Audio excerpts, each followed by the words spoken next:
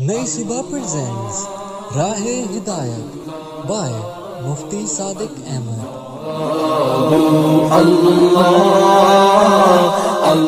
असलकम वरहमतुल्लाहि वबरकatuh आज के सेशन में हम बात करेंगे उजब और तकबर के बारे में। सामीन कराम, उजब यानी ख़ुद पसंदी और तकबर दिल और बातिन की तमाम बीमारियों में से नहायत ख़तरनाक और हलाकत में डालने वाली एक अजीम बीमारी है।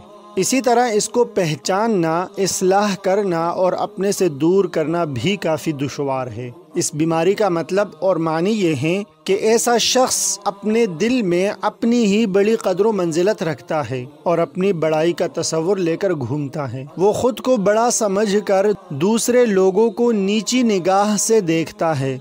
और उनको हकीर और छोटा गर्दानता है। अब वह मिरवजी कहते हैं कि मैंने हज़रत अब्दुल्ला बिन मुबारक रहमतुल्लाह अलैहि से पूछा कि हज़रत ये बताइए कि तकबर क्या चीज़ है? उन्होंने जवाब दिया, लोगों को हकीर और कम मर्तबा समझना, ये तकबर है। फिर मैंने पूछा, उजब यानी खुद पसंदी क्या है? तो उन्होंने जवाब दिया, तुम्हारा अपने बारे में ये समझना कि तुम्हारे अंदर जो खूबियाँ हैं, वो दूसरों में नहीं हैं। गोया खुद को दूसरों से बड़ा समझना और अपने अंदर कमाल समझना खुद पसंदी है और दूसरों को हकीर और जलील समझना या ऐसा बर्ताव करना, ये तकबर है। ये दोनों ही रूहानी और जिस्मानी तौर पर तबाहकुन बीमारियाँ हैं। इनमें से खुद पसंदी जड़ है, इसी से तकबर पैदा होता है। सामीन कराम, हदीस में आता है, नबी करीम सल्लल्लाहु अलैहि वसल्लम ने इरशाद फरमाया है कि जिस शख्स के दिल में राई के दाना के बराबर तकबर होगा, वो जन्नत में नहीं जाएगा। मिशकात शरीफ। और एक हदीस में फरमाया गया है, बुरा है वो बंदा जो तकबर करे और इतराए और उस ज़ात, यानी अल्लाह ताला को भूल जाए, जो बड़ाई वाली और बुलंदो बाला है। अलबहकी सामीन कराम इस बुरी आदत की मैं आपको चंद अलामतें बताना चाहता हूँ नंबर एक जब किसी के बातिन में ये बुरी आदत ज़ोर पकड़ती है तो इसके असरात सबसे पहले ज़बान पर ज़ाहिर होते हैं और ऐसा शख्स अपनी तारीफ़ व सताइश के पुल बांधने लगता है कि वो इस मुआशरे का सबसे अच्छा और बेहतर इंसान है मगर ये सिर्फ़ ज़बानी जमा खर्च होता है सबसे पहले शैतान ने भी ऐसा ही किया था।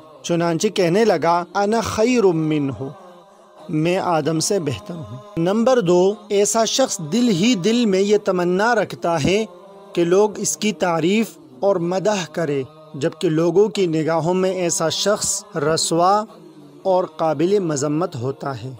नंबर तीन, ऐसा शख्स जहाँ कहीं भी जाता है, बड़ा मकाम हासिल करने का मुतलाशी रहता है, यानी इस तलाश में रहता है कि उसे सबसे बड़ा मकाम मिल जाए। और जिस रास्ते से चलता है, दिल ही दिल में अपने आप को बड़ा तस्वुर करके दूसरों से आगे चलने की कोशिश करता है। नंबर चार, अगर कोई खैरखा आदमी ऐसे शख्स को नसीहत करता है या सही तौर पर इसके ऐबों की निशानदही करता है तो इसे कबूल करने में नंग आर महसूस करता है और ये अपने शान में गुस्ताखी समझता है। नंबर पाँच, और अगर वो किसी को नसीहत करता है तो अपने आप को बड़ा जानकर सख्ती और दुरुस्ती से पेश आता है। जबान पर से नरमी, हुस्न सलूक और अच्छाई का असर जाता रहता है। सामीन कराम ये अलामत यकीन के साथ जो बंदा अपने अंदर पाए तो समझ लें कि वो अपने आप को दूसरों से बेहतर होने का एतक़ाद रखता है। और यही तकबर है। उजब और ख़ुद पसंदी है। अब इसको अपनी असलाह की फ़िक्र करनी चाहिए। वरना अंजाम ये होगा कि रसूलुल्लाह सल्लल्लाहु अलैहि वसल्लम ने इरशाद फरमाया, जो तकबर करता है, वो लोगों की नज़रों से जलील और रसवा और मामूली हो जाता है। लोगों की निगाहों से गिर जाता है। अगरचे वो अपनी नज़र में अपने आप को बहुत ही बड़ा तस्वर करता है। मिशकात शरीफ। अल्लाह तबारक ताली इन बातनी बीमारियों से हमारी हिफाजत फरमाए, आमीन। अल्लाह हाफिज़।